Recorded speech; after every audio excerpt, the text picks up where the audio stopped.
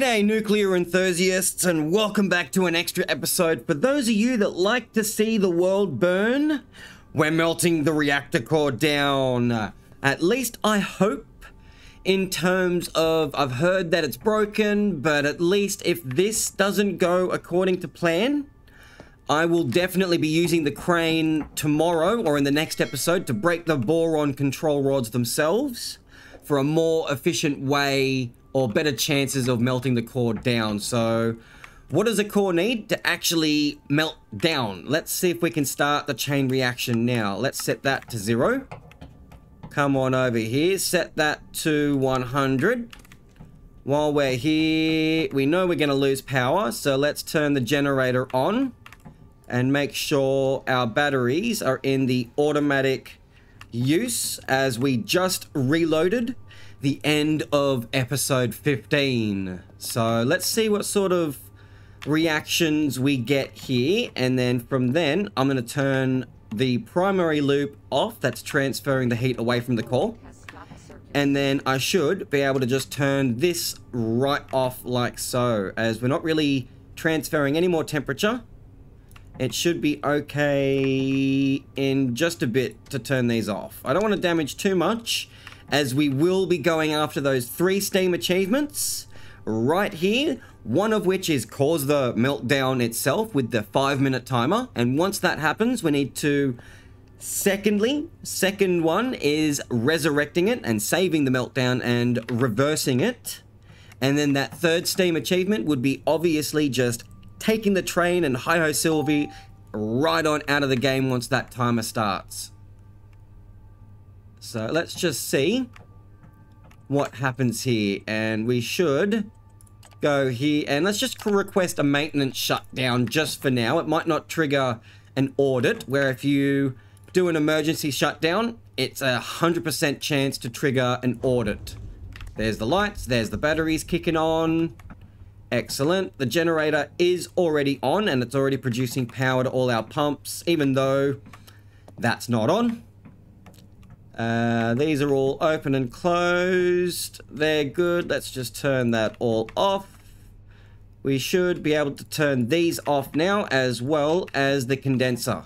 All we have is this pump activated, so it's not really using that much in terms of power, and we're producing 180. Factor is zero because we're not producing any power.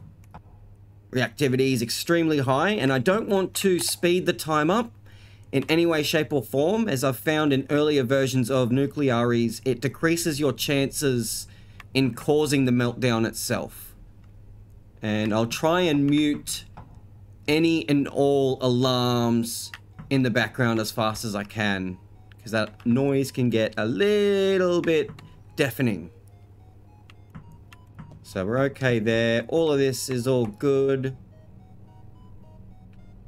as we found out towards the end of that week of episode 15, until we repaired loop 3 up after we shut down, this always continuously dropped, even if we added more to it. So that can just drop all the way to zero, and we'll just repair it um, when we do the reverse meltdown procedure. Uh, which, if we go that one, reverse core meltdown, right there, give it a pause and read it if you wish. And then the emergency escape plan, aka taking the train, is that one right there.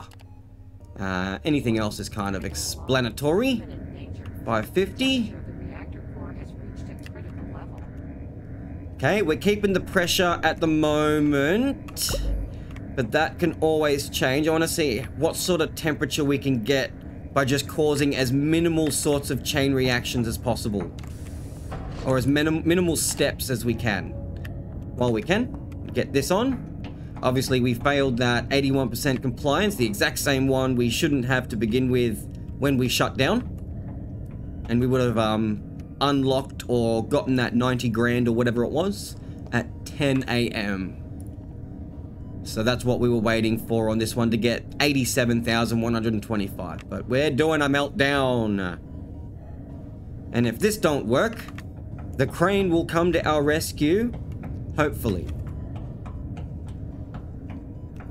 So we've got zero on that.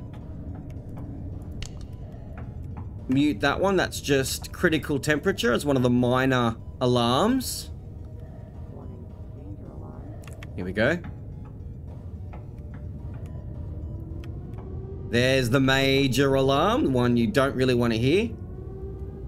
So let's just mute those as much as we possibly can. Some of them we can't, but we'll get to that stage when we get there. And these alarms here show that there's steam detected either in the steam generator room or even in the core room here itself. So we'll see how we all go. It's all off. We're gonna flick alarms on and off for the time being. Still raising the temperature. That's what we want to overall see. Pressure's fluctuating a bit. Quiet you. I just gotta wait for it to actually trigger. Like that. There we go. Hopefully they should stay. Pressurizers are having a good time. A good old time. Can I zoom? No. Oh, I saw 2319 for a second. Wow, okay. 740. Come on, I want you to go higher than that. I want you to hit at least maybe a thousand degrees. We're creating a lot of steam in there.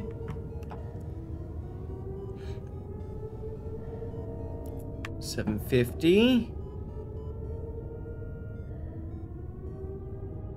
Still hopefully coming up. 760.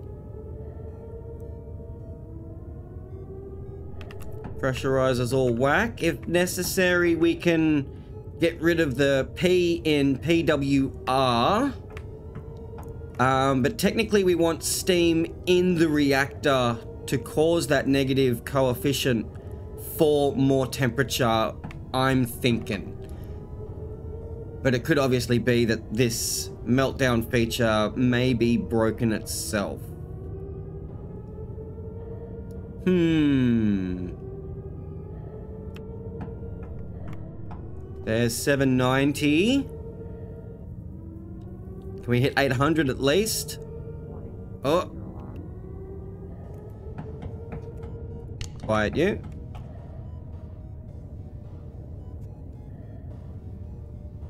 Yeah, when that pressure fluctuates, so does the temperature.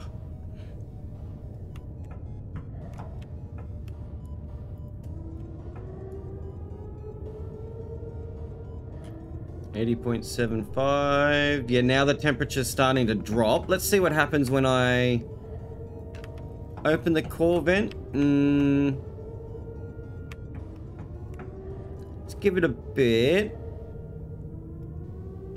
Maybe even turning these on will flow some water into it.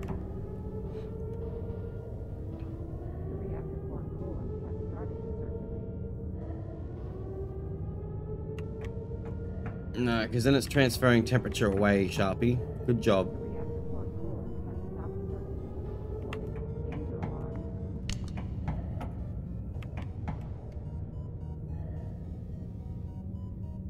Don't know if it's coming up, going down. I'm pretty sure overall it's going down. I think it could just very well be broken perhaps. It's come down a bit.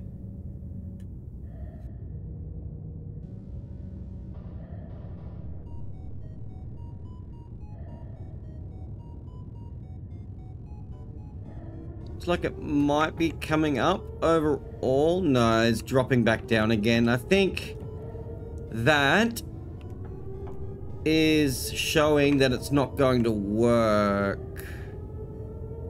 We'll wait till this gets to absolute zero maybe first and just let it play out as is to guarantee it. So let's speed the timer, which I, uh, I'll go 2x speed. I really don't want to go too much more than that. Oh, there's a pop-up. At least that shows, hopefully, something positive towards a meltdown. Never thought I'd hear myself say that. We're at a massive high reactivity level. What sort of a factor have we got? 118. Yep. It's about right. Um, wait for this to go to absolute zero, then hopefully things should get real when that's already emptied. Okay. We're just waiting for this to go to zero, and hopefully that's when things should get real. At least from what I can remember from memory.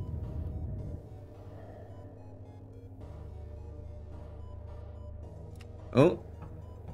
Um. Not that sort of change. I didn't think that would happen.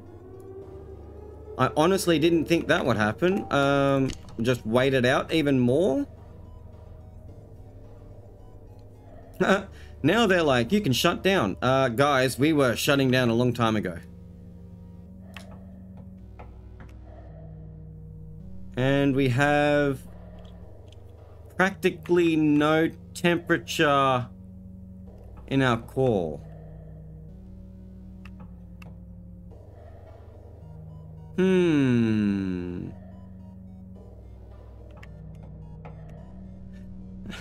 I honestly don't think anything's gonna happen.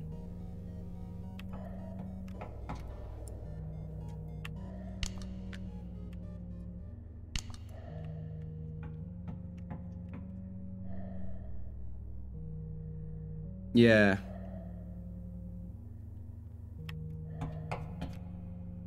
We do have radiation somewhere in the plant. At least not where we are. Um, yeah, interesting, interesting. What happens if I override? Core destroyed. Oh, voltage drop has occurred. No good. Um,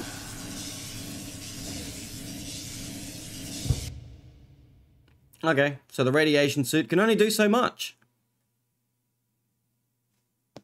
Okay, till next time, guys, I guess we'll uh, try again. Make sure you like, comment, subscribe, all that good jazz. Comment your thoughts down below, even though I will be trying again straight after this. So make sure you stick around for that one for take two. Till next time, stay sharp. As always, see ya.